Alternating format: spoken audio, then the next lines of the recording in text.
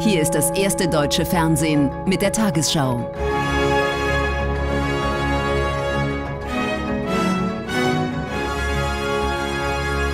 Heute im Studio Judith Rakers. Guten Abend, meine Damen und Herren. Ich begrüße Sie zur Tagesschau. Bundeskanzlerin Merkel hat die Bürger in Chemnitz dazu ermutigt, weiter gegen Fremdenfeindlichkeit und Rechtsradikalismus die Stimme zu erheben. Merkel besuchte die Stadt knapp drei Monate nach dem tödlichen Messerangriff auf einen 35-Jährigen und den folgenden Demonstrationen und Übergriffen. Die Kanzlerin äußerte Verständnis für Sorgen und Empörung. Dies rechtfertige aber keine Straftaten. Vor der Veranstaltungshalle demonstrierten hunderte Menschen gegen Merkel und deren Politik. Gespannte Atmosphäre im Leseforum der Chemnitzer Hartmann-Fabrik. Drei Monate nach der tödlichen Messerattacke auf einen Deutschen stellt sich die Kanzlerin den Fragen ausgewählter Bürger. Die Erwartungen an diesen Dialog sind hoch. Ich erwarte, dass die Bundeskanzlerin uns Antwort gibt auf Fragen, warum die Sachsen als Nazis pauschal dastehen, warum sie das in den Medien nicht unterbunden hat, dass wir pauschal als Nazis dargestellt werden und erwarte Auskünfte zu ihrer Flüchtlingspolitik, wie sie sich das vorgestellt hat, weil ja nun mittlerweile auch Fehler offensichtlich geworden sind, die man korrigieren muss. Für mich zählt einfach der Akt, dass sie da ist und ja, dass sie mit uns redet, beziehungsweise einmal ein offenes Ohr hat für die Bürger von Sachsen, Chemnitz. Rückblick. In der Nacht zum 26. August wird der Deutsch-Kubaner Daniel H. getötet. Die Verdächtigen stammen aus Syrien und dem Irak. Anschließend kommt es zu ausländerfeindlichen Übergriffen. Die Stadt macht international Negativschlagzeilen. Viele Bürger in Chemnitz sind darüber entsetzt, die Stimmung gespalten. Im Bürgerdialog werden Ärztemangel, Bankenkrise und besonders Merkels Flüchtlingspolitik kritisch hinterfragt. Wir haben Menschen, von denen wir nicht wissen, wo sie untergetaucht sind, wer sie sind, mit Mehrfachidentitäten und, und, und. Wenn das immer so weitergeht, so schaffen wir das nicht. Als die Menschen bei uns waren, glaube ich, äh, war es human oder menschlich richtig, sie aufzunehmen. Und seitdem arbeite ich, das habe ich auch gesagt, daran, die Zahl der zu uns kommenden, das haben wir ja auf Ihre Frage geantwortet, die Zahl der zu uns kommen und illegal zu uns kommenden weiter zu reduzieren. Merkel räumt Fehler in der Flüchtlingskrise ein, betont aber, dass rechtsradikale Aufmärsche durch nichts zu rechtfertigen seien. Auch heute demonstrierten wieder hunderte Menschen in Chemnitz gegen die Politik der Kanzlerin. Aufgerufen hatte die rechte Gruppierung Pro Chemnitz. CSU-Chef Seehofer hat heute einen Termin für seinen angekündigten Rücktritt als Parteivorsitzender genannt. Er werde sein Amt am 19. Januar zur Verfügung stellen, teilte Seehofer schriftlich mit. Ein Sonderparteitag solle dann über seine Nachfolge entscheiden. Als Favorit gilt der bayerische Ministerpräsident Söder.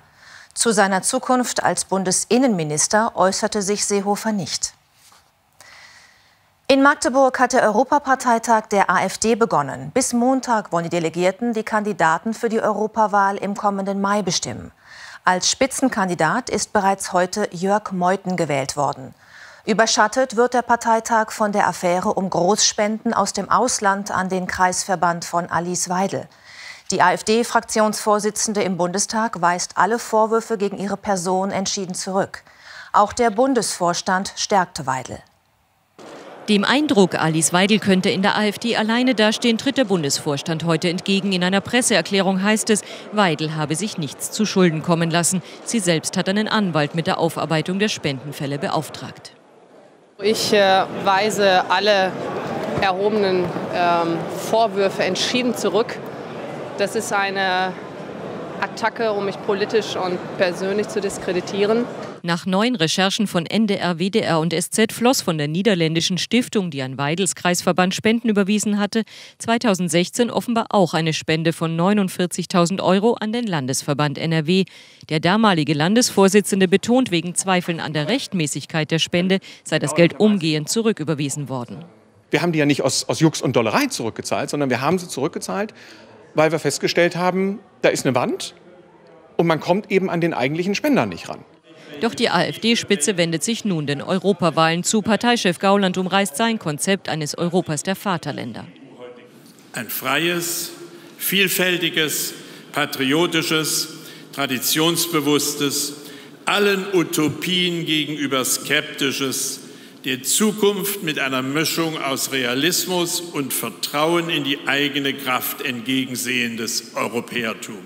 Als Spitzenkandidat tritt nur einer an. Parteichef Meuthen kündigt neue Bündnisse an, die das EU-Parlament grundlegend verändern sollen. Heinz-Christian Strache zum Beispiel von der österreichischen FPÖ, Matteo Salvini von der italienischen Lega, Viktor Orban aus Ungarn, um nur drei zu nennen. Das, das sind unsere natürlichen Verbündeten. Mit 90 Prozent der Stimmen wird Meuthen gewählt. Die AfD-Spitze hat sich klar hinter Alice Weidel gestellt und damit möglich gemacht, dass dieser Parteitag sich nun Europa widmen kann. Und doch geht es bei den Gesprächen der Delegierten immer noch auch um dubiose Spenden und um die Unzufriedenheit mit der Fraktionsführung in Berlin. Themen, die die Partei noch länger beschäftigen dürften. In Hessen können Union und Grüne rechnerisch auch künftig die Regierung stellen. Das geht aus dem amtlichen Endergebnis hervor, das heute, knapp drei Wochen nach der Wahl, veröffentlicht wurde. Bei der Auszählung hatte es mehrere Pannen gegeben. Nach dem Endergebnis kommt die CDU auf 40 Sitze, die Grünen auf 29. Somit gäbe es eine Stimme Mehrheit für Schwarz-Grün. Die SPD wurde mit 66 Stimmen Rückstand drittstärkste Kraft und stellt ebenfalls 29 Abgeordnete. Die AfD kommt auf 19 Mandate, die FDP auf 11 und die Linke auf 9 Sitze. Im Vergleich zum vorläufigen Ergebnis ändert sich an den Mehrheitsverhältnissen nichts. Die CDU bot den Grünen am Abend Koalitionsverhandlungen an. Der durch den Dieselskandal angeschlagene Volkswagen-Konzern will seine Zukunftsinvestitionen ausweiten. Bereiche wie Elektromobilität, autonomes Fahren und Digitalisierung sollen in den nächsten fünf Jahren mit knapp 44 Milliarden Euro gestärkt werden, teilte der Konzern heute mit. Das sind 10 Milliarden mehr als zuletzt veranschlagt. Die Investitionen sollen auch durch Einsparungen in anderen Bereichen finanziert werden. Die Vorfahrt geräuschlos dank Elektromotor. Die VW-Führungsriege versäumt nicht, Eigenwerbung zu machen für die E-Modelle, mit denen der weltgrößte Autobauer auch künftig seine Spitzenstellung behaupten will. Die Ausgaben dafür enorm. Wir machen Tempo bei den Zukunftstechnologien und beim notwendigen Umbau unserer Werke. Bis Ende 2023 wollen wir knapp 44 Milliarden Euro allein in die Zukunftsthemen Elektromobilität, autonomes Fahren, neue Mobilitätsdienste und in die Digitalisierung investieren. Die Batteriezellenforschung von VW. Der Umstieg von Verbrennungs- auf Elektromotoren kostet erstmal viel Geld. Deshalb will der Konzern wesentlich effizienter und profitabler werden. Das allerdings wird auch Arbeitsplätze kosten. E-Fahrzeuge sollen künftig an den deutschen Standorten Emden, Hannover und Zwickau gebaut werden und bis 2028 gibt es eine Beschäftigungsgarantie. In Zeiten der prekär, prekären Beschäftigung ist das zumindest aus unserer Sicht ein großer Erfolg. Der Abschied von Benzin und Diesel.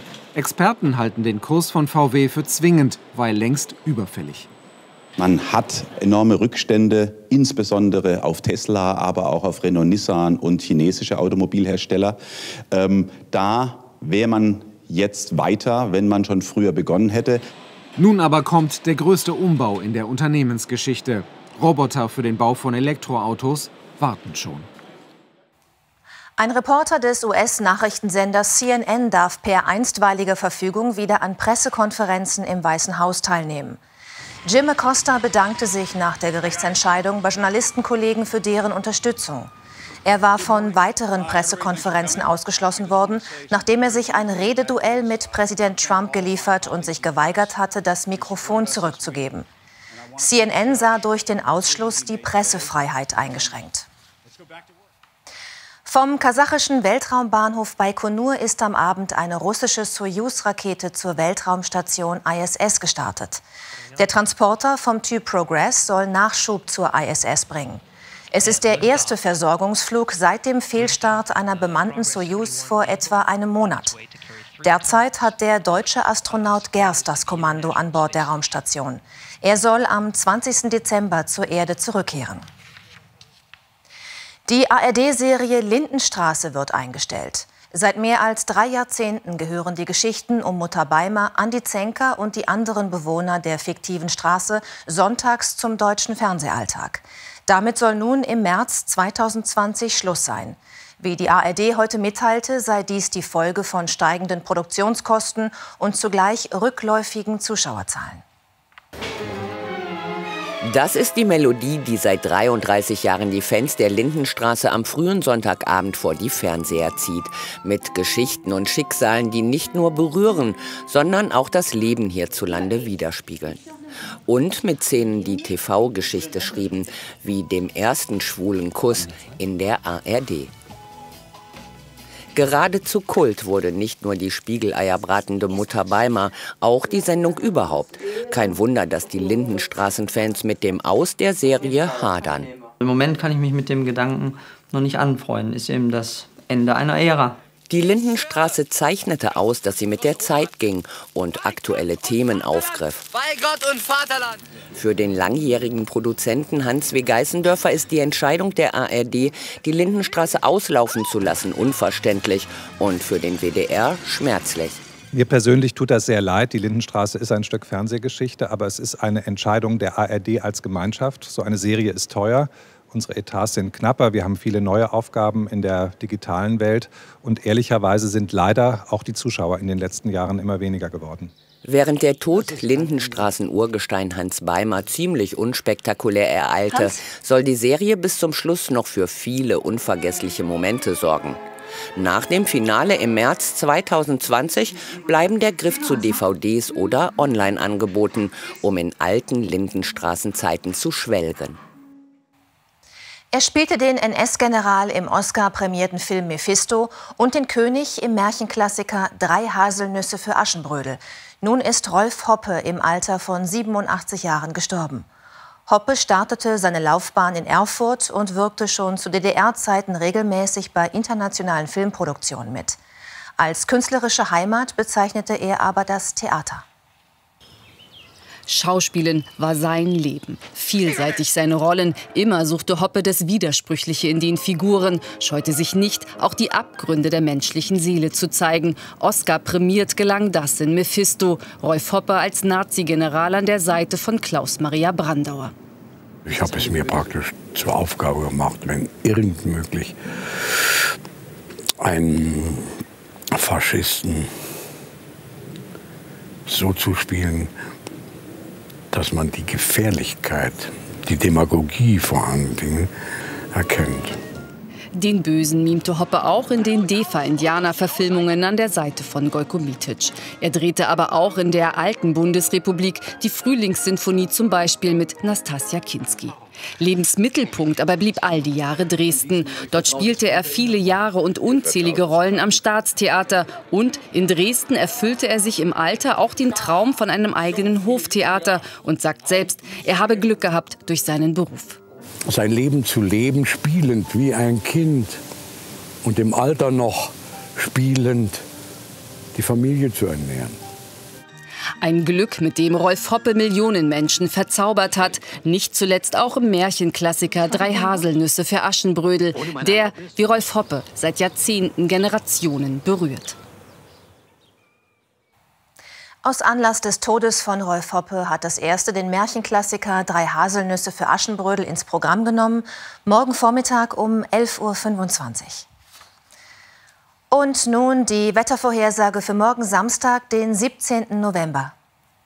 Das Hoch über Mitteleuropa hält Tiefs von uns fern. Allmählich strömt von Osten kältere Luft zu uns. In der Nacht ist es vielerorts klar, vom Oberrhein bis nach Oberbayern bleibt der Nebel erhalten. Am Tag verbreitet sonniges Wetter, längere Zeit neblig trüb ist es noch am Oberrhein und am Bodensee, im Norden dichtere Wolken. In der Nacht 5 Grad auf Fehmarn, minus 5 Grad im Vogtland.